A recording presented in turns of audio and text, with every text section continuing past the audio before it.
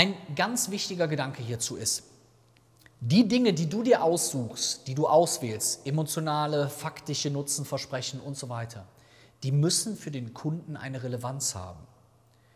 Also, wenn ich sage, dass ich bin der Coach, der am schnellsten von allen Coaches reden kann. Ich kann so schnell reden, dass kein anderer so schnell reden kann, wie ich da reden kann. Dann könnte ich ja sagen, okay, total geil, wahrnehmbare Positionierung, aber die hätte keine Relevanz. Und hier ist wirklich mir eine Sache wichtig. Seid euch bewusst darüber, übrigens finde ich total geil, dass hier keiner rausgeht. Ich bin es ja sonst, hat man ja immer so Coachings, wo dann irgendwann die Leute raushüpfen und ich bin ja schon 40 Minuten viel zu lang wieder am Reden.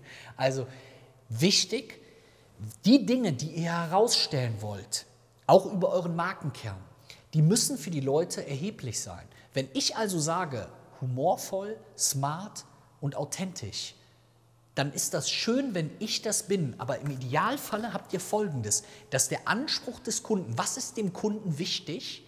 Meinen Kunden ist wichtig, Smartness total. Oft ist das Kapital, die haben noch nicht so krass viel Kohle, dass sie sagen, es ist völlig egal, was irgendwas kostet. Also such kreative Wege, Felix. Smartness ist ein ganz wichtiger Anspruch meines Kunden, der sich Gott sei Dank mit mir deckt. Die wollen aber auch kein Bottom-Down-Kommunikation haben, also das äh, Top-Down-Kommunikation haben, dass jemand von oben herab mit denen kommuniziert, sondern eher auf demselben Level. Authentizität. Und viele Leute, die ich habe, die haben manchmal entweder den Spaß am Business schon verloren oder sie hatten halt so ein bisschen, finden es halt oft ein bisschen dröge, so und darum eben auch Humor. Das heißt, diese drei Faktoren, die ich mir ausgewählt habe, das sind drei Dinge, die ich hoffentlich auch als Mensch habe, die sich aber im Idealfall auch mit dem Anspruch des Kunden decken. Und dann entsteht Relevanz, zumindest aus meiner Erfahrung.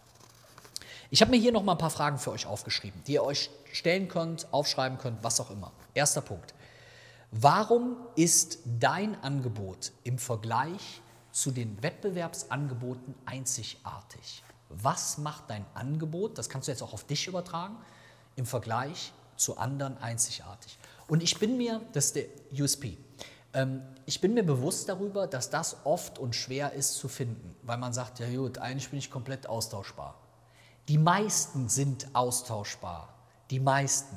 Was hier hilfreich sein kann, ist, wenn ihr euch mit, dem, mit der Abkürzung UAP mal auseinandersetzt, Unique Advertising Proposition. Ich kann es auch so Unique Advertising Preposition. Also man kann es auch so, wie so möchte gern Native Speaker sozusagen machen. Äh, könnt ihr mich noch hören? Mein Mikrofon zeigt mir irgendwie gerade an, dass es umgeschaltet wurde. Könnt ihr noch was hören? Ja?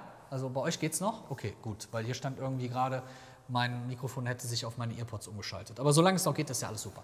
Also, das heißt, der UAP, Beispiel Krombacher, wird mit frischem Felsquellwasser gebraut. Alle Biere werden mit Wasser gebraut und alles Wasser kommt aus einer Quelle und alles Wasser sollte frisch sein. Das heißt, die stellen etwas heraus, was jeder andere auch hat, ganz smarter Gedanke, aber was andere nicht herausstellen. Also achtet mal darauf, achtet mal darauf, ob ihr vielleicht etwas habt, was alle haben, aber was keiner herausstellt, obwohl es eventuell relevant ist. Thema Ax ist genau das gleiche. Das nennt man den UAP. Nächste Frage. Welche Qualitätsmerkmale, welche Merkmale sind für den Kunden besonders wichtig? Also das ist so ähnlich, wie ich das eben mit der Authentizität und der Smartness bei mir hatte. Welche Merkmale sind den Kunden bei dir, bei euch besonders wichtig? Für welche Merkmale würden Kunden viel Geld ausgeben? Dann hatten wir eben diese Frage, hm, wie spitz muss meine Positionierung sein? Weil auf allen möglichen Seiten von Leuten, die keine Ahnung haben, sorry, steht halt, äh, du musst so krass spitz sein, dass dich jeder wahrnimmt. Ja, Positionierung zunehmend spitzer, Entwicklung, weil höhere Anzahl an Marktteilnehmer. Ganz einfache, simple Darstellungssache. Was aber nicht bedeutet, dass du nicht auch eine große Gruppe von Dienstleistern oder von großen Gruppe, sorry, von Kunden abdecken kannst. Es geht nur darum, dass deine Positionierung bei der Zielgruppe wahrnehmbar sein muss. Also, das heißt, wenn ich jetzt zum Beispiel sagen würde, meine Zielgruppe sind alle Frauen mit Kindern, machen wir es mal simpel, dann könnte ich jetzt natürlich auch sagen, meine Zielgruppe sind alle Frauen mit zwei Kindern, die mindestens 13 und höchstens 14 sind. Juhu, ich habe eine super spitze Positionierung, weil ich habe eine total spitze Zielgruppe gewählt. Das darf man auch nicht miteinander verwechseln, spitze Positionierung, spitze Zielgruppe. Wichtig ist also wirklich zu überlegen, wo macht es Sinn, den Markt weiter einzuschränken. Eine Einschränkung macht nur dann Sinn, wenn diese Einschränkung einen messbaren Vorteil mit sich bringt. Wenn du also hingehst und sagst, ich biete etwas für Frauen an und überlegst dir dann, soll ich mich spitzer positionieren auf Frauen mit Kindern, dann musst du auch überlegen, ob diese spitzere Positionierung bei der Zielgruppe zu einer erhöhten Wahrnehmung führt. Also spitzer führt, steigt dadurch die Wahrnehmung. Wenn die Frauen sagen, es ist mir egal, ob die jetzt was für Frauen anbietet oder für Frauen mit Kindern, das spielt ja keine Rolle, außer das Produkt ist natürlich nur was für Frauen mit Kindern, dann würde die Einschränkung überhaupt gar keinen Sinn machen. Weil ich könnte ja auch sagen, mein Gott, wie riesig ist meine Zielgruppe? Alle Unternehmerinnen, Unternehmer und Selbstständige in Deutschland. Das sind vier Millionen. Das ist eine riesengroße Zielgruppe. Eine riesengroße Zielgruppe. Ich könnte ja jetzt auch sagen, ich mache nur Coaches. Ich mache nur Coaches. Ich habe einen hohen Anteil an Coaches, ich habe einen sehr hohen Anteil an Dienstleistern. Dann könnte ich das eben entsprechend einschränken und dann gäbe es bestimmt Leute, die sagen würden, ah, der kennt sich mit Coaches, mit dem Coaching-Business super gut aus. Aber, und das hat irgendeiner bei euch auch reingeschrieben, hätte ich keinen Bock drauf. Das ist auch noch so ein Hab Hast du Bock drauf? Faktor. Ich hätte gar keinen Bock, mich auf eine Branche, das hat auch einer in dem Chat geschrieben, äh, äh, zu spezialisieren, weil ich einfach Lust habe, Leute aus unterschiedlichen Branchen zu beraten. Also da schlägt für mich immer mein eigenes Unternehmerherz oder meine persönliche Passion, meine eventuell noch spitzere Positionierung. Also ganz wichtig. Es geht also darum, eine Klammer zu finden über das, was du tust, und zu schauen, oder sagen wir mal Deckel, nennen wir es mal Deckel, und der Deckel darf natürlich ab einem gewissen Punkt auch nicht zu groß werden. Und hier versuchen viele, das ist mir bei euch auch schon oft aufgefallen, so zwei Sachen zusammenzubringen, die gar nichts miteinander zu tun haben. Also es gibt, wer sich mal mit Design Thinking auseinandersetzt, es gibt da Möglichkeiten, Dinge sozusagen zu remixen. Also als Beispiel, äh, es gibt den Kindergarten und es gibt Hunde und man könnte einen Hundekindergarten machen. Dann habe ich aber eine Klammer drüber. Bei manchen Leuten ist das so, wie ich bin ein Kiosk und ich verkaufe noch Handtaschen. Das Kiosk und Handtaschen, das sind zwei unterschiedliche Zielgruppen, es gibt zwei unterschiedliche Kaufsituationen, es gibt zwei unterschiedliche, das ist fast alles unterschiedlich.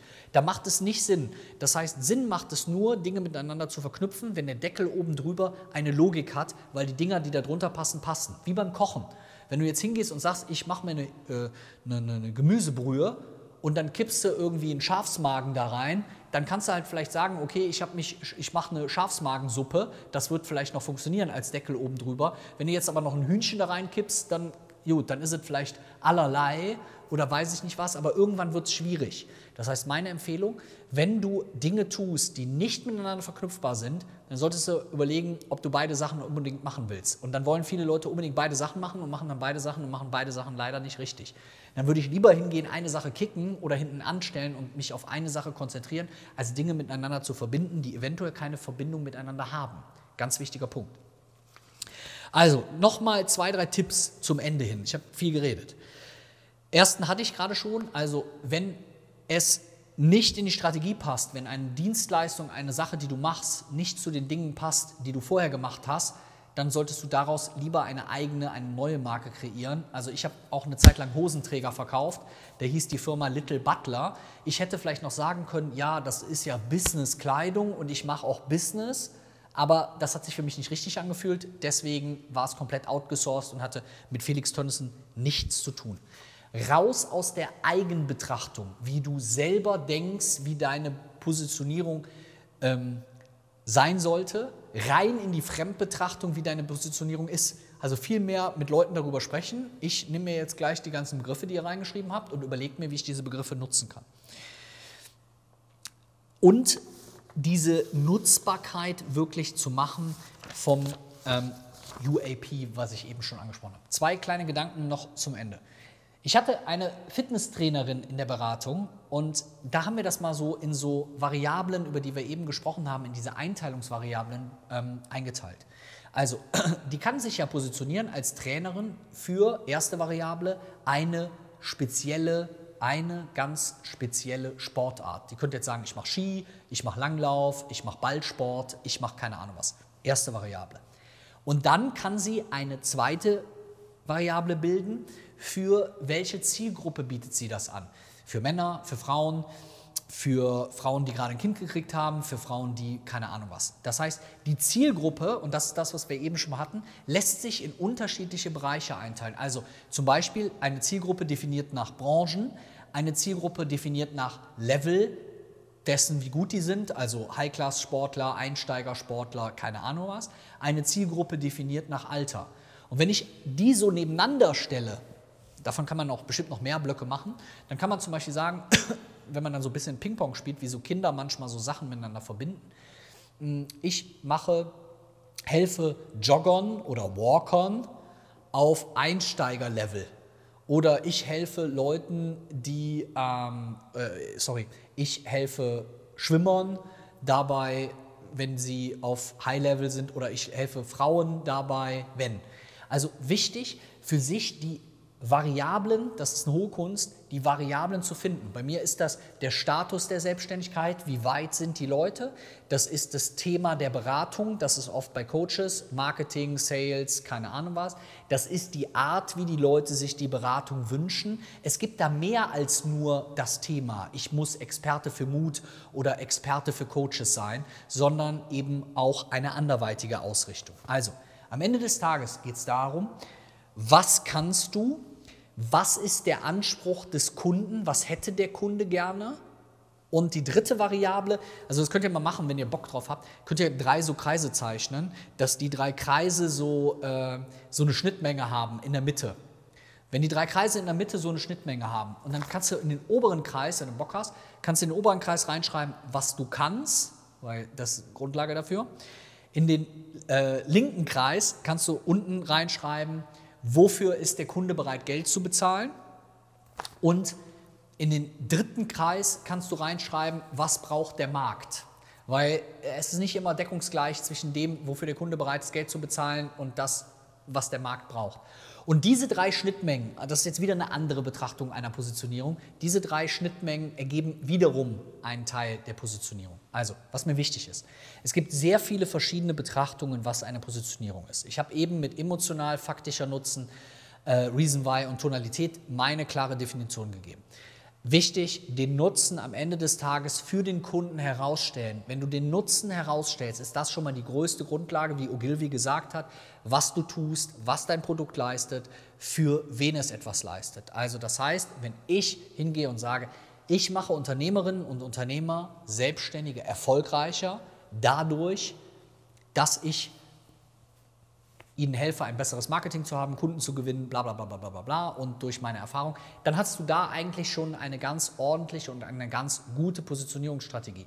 Lasst euch nicht verrückt machen von Leuten, die euch erzählen, du musst so spitz wie möglich sein und keine Ahnung was, weil dann müsste ich jetzt auch hingehen und sagen, okay, ich coache jetzt nur noch Frauen ab 46, die ein Coaching-Business haben, vorher schon fünfmal selbstständig waren, vier Kinder zu Hause haben, blonde Haare und keine Ahnung was. Also du kannst auch eine schwachsinnige Sache machen. Letzter Punkt zu eurer Frage, wie spitz muss es denn sein? Es muss so spitz sein, dass es eindeutig wahrnehmbar im Markt ist, dass es zu einer Differenzierung zum Wettbewerb führt und dass das Marktvolumen, die Marktgröße immer noch groß genug ist. Immer noch groß genug. Es gibt zum Beispiel jedes Jahr in Deutschland, hatte ich einen Kunden, jedes Jahr in Deutschland 2000 neue Piloten. Ich hatte einen Kunden, der hat nur für neue Piloten in Deutschland ein Produkt angeboten. Das heißt, er hat nur eine Marktgruppe von 2000 pro Jahr. Kann man natürlich sagen, okay, da musst du aber schon ein klares, gutes, teures Produkt haben, damit du damit ordentlich Umsatz machst. Also das Marktvolumen muss eben entsprechend sein. Der hatte also eine Zielgruppe in Deutschland, Marktvolumen 2000, Felix Zielgruppe in Deutschland 4 Millionen. Ne? Also das heißt, irgendwo dazwischen werdet ihr euch wahrscheinlich mit eurem Segment bewegen. So, wichtig, für die von euch, also die diese Thematiken, auch ihre Ausrichtung, ihr eigenes Business, da auch mit uns gerne nochmal etwas detaillierter besprechen wollen, haben wir seit, ich glaube seit Dezember, unseren Business Talk, ein kostenloses, kostenloses Gespräch mit uns, mit mir, mit meinem Team. Manchmal habt ihr Glück und ich bin am Telefon, manchmal mein Partner oder wer auch immer. Also mit mir und meinem Team kommt ihr drauf. Kann vielleicht einer ist vielleicht so lieb und kann das mal in den Chat reinschreiben. felixtönnissen.de slash business-talk.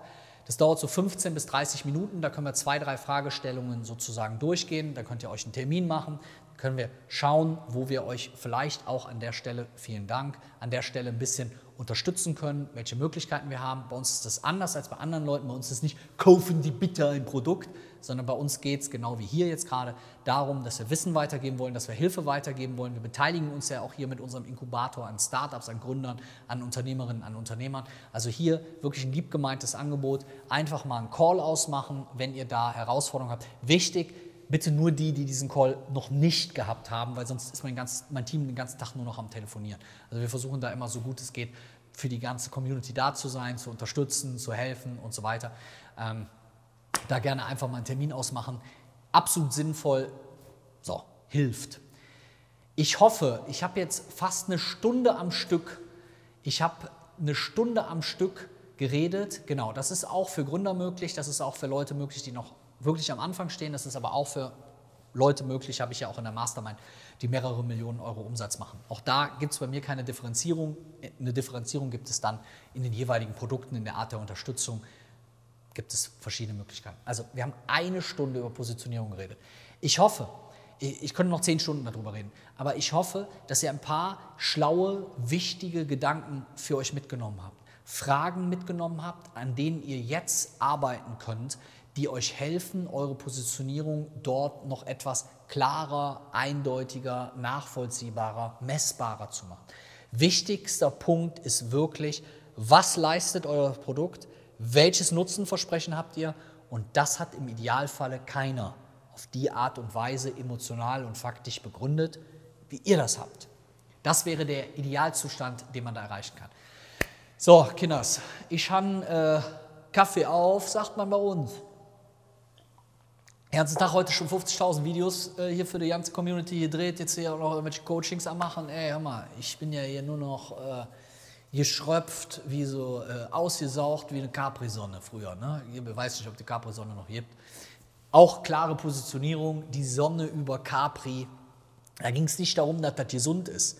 Da ging es auch nicht darum, dass das günstig ist, wie bei einem Trinkpäckchen von Aldi, sondern da ging es darum, wenn du das trinkst, da ist das wie die Sonne, die auf Capri aufgeht, ne? wie wenn du, wie das Kind dann mit dem Kindercocktail da irgendwo, wer schon mal auf Capri war, am Hafen sitzt und schön genüsslich die Capri-Sonne trinkt. Also wichtig, wirklich, Emotionen schlagen Fakten immer über UAPs nachdenken, über eure Nutzenversprechen nachdenken. Und ich glaube, da kann man da viel dran arbeiten. Ansonsten wirklich liebgemeintes Angebot. Wir sind noch zwei Wochen da, dann sind wir schon wieder auf Mallorca. Ähm, den Service Business-Talk zu nutzen, könnt ihr euch direkt einen Termin machen, kostenlos mit uns sprechen. Wir helfen da sehr, sehr gerne weiter. Ich sage danke, dass so viele von euch da waren, auch wenn es heute ein bisschen, bisschen länger gedauert hat.